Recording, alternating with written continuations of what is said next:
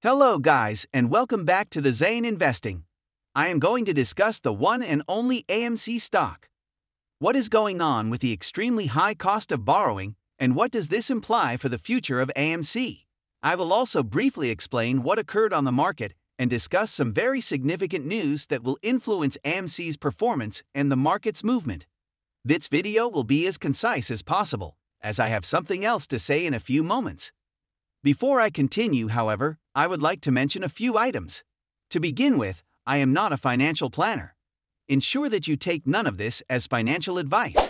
In addition, if you could hit the like icon if you want to see more videos like this, it would not only benefit me, but also the entire ape community. They were suffering from a stuffy nose and intermittent wheezing. It appears that I may have contracted the illness or a cold as a result. My symptoms are not particularly severe, I occasionally cough and have a slightly runny nose. But it's not been that terrible, and it's only been a few days. I didn't think it was that bad at first, particularly yesterday, but it's deteriorating slightly now. However, I should be alright. Nothing significant, right? I will be in complete good health. When it arrives, excuse me, apologies, folks. Regarding AMC, I will only briefly discuss all the information I intend to present. Keep this concise. Thus, the market reacts negatively to Bowman's extremely pessimistic remarks about inflation being too high. Then, at 10 o'clock am Eastern, the Michigan consumer sentiment data was released. Afterwards, we hear Bullard and Jefferson speaking. The markets are currently open, but they did decline significantly today. AMC is 4% lower. This is identical to what I've been telling you in the previous videos. However, there was one minor distinction. I mean, I did anticipate a significant decline in the markets, but at first I thought we might see a minor rally before the decline. And if you examine the extended hours that did occur, you will notice that they only occurred in the pre-market. Right. SPY actually reached a pre-market high of 414 by aggressively boosting the stock before it began to rapidly decline. At approximately 410, we are now very close to maximum pain or are very near to it. Regarding the debt ceiling debacle, consumer sentiment plummeted to a six month low at 10 a.m. today, according to the data. Regarding the debt ceiling, this is absurd. I believe Biden and Kevin McCarthy were scheduled to meet not too long ago. They were supposed to convene to discuss this, but they ended up postponing it once more. Consequently, this was not the greatest news. And when it comes to the University of Michigan surveys, this is significant for consumer sentiment. Consumers are essentially losing confidence and are beginning to have less faith in the debt ceiling being cleared soon. It may take longer than anticipated. There is some concern about it, and this will impact the markets. The sentiment of consumers is being affected. In addition, consider the long term inflationary outlook. They reached a 12 year peak, which is unfortunate. This indicates that individuals anticipate another increase in inflation. They await. This is also what Bowman had to say about it. Inflation is still too high, and we anticipate that interest rates will continue to be quite restrictive in the future. This was a more hawkish and bearish statement for the markets. In addition, as consumer sentiment declines, inflation expectations for the next 5 to 10 years have increased to 3.2%, an increase of 0.2% from the previous forecast of 2.9%. The market has become more pessimistic due to the increase in yields. SPY is extremely similar to Max Pain. We will likely close around that time. However, there is some good news from AMC. The popcorn is selling out relatively rapidly. Moreover, the cost of borrowing is extremely exorbitant at 359%. I apologize, 357%. So it's a good thing that the maximum cost to borrow is high.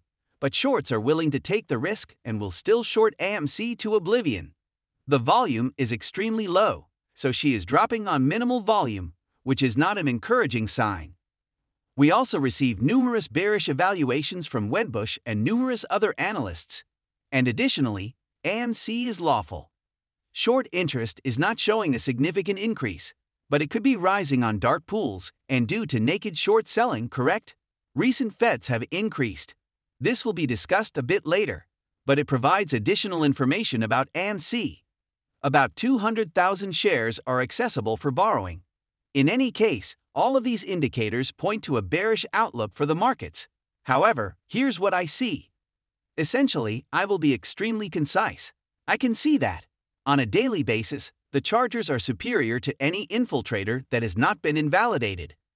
We have not yet filled the void up here. Could we rebound, attempt to close the margin, and then decline? It is possible, but its likelihood is diminishing.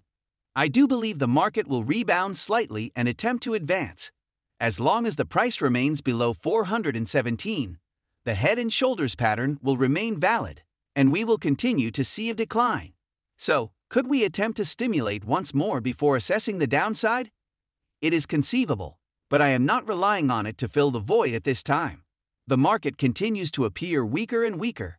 I believe we will attempt to return to 4 or 11 by Monday. However, after that, there is only a very tiny upward movement.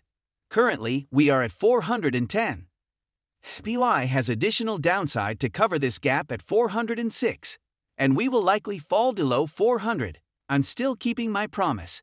As anxieties begin to emerge, I foresee a great deal of impending harm, particularly due to the debt ceiling. The Q has fallen. It is beginning to fall. This rising wedge has been forming, and if it continues to break down, we will be monitoring the 321 level for support. Could it recover slightly? Yes, but it will presumably continue to decrease. AMC is approaching my objective. I've been predicting that she will get closer to $5. She is currently at 5.13. I anticipate that AMC will fall to 5 flat and begin trading sideways around here. If it continues to decline, the market will once again push AMC's price lower, but she will soon be testing 5. Tesla performed almost precisely as predicted. Nice compressor. It actually reached my goal of 178 before rejecting and dropping drastically. I wasn't positive if this downside move would occur until Monday. It has gained 1.65%. It is extremely intriguing. However, the bullish divergence is beginning to manifest as the VIX begins to surge more. The same applies to the deviation. Okay, then. So that concludes the contents of this video. I will provide additional information about other tickers and AMC in a later entry. To help preserve my voice, I'd like to keep this as brief as feasible, and I also need to rest my voice. I would suggest tomorrow. Therefore, I'll upload a video. I'll record it today while my voice is still able to do so. Then I am confident I will be alright. I'm. It's likely that I'll return by Sunday to record many more videos, so you shouldn't notice any changes to my current upload schedule. There should be a video for both tomorrow and Sunday. But until then, I appreciate your attention. I'll do my best. I wish the best for everyone and I am in good health. In passing, it's not that severe or I'm not really suffering.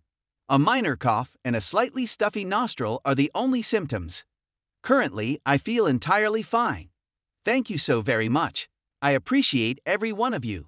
Don't forget about the merchandise below AMC to the moon because, despite the negatives, the super long term outlook is still quite optimistic.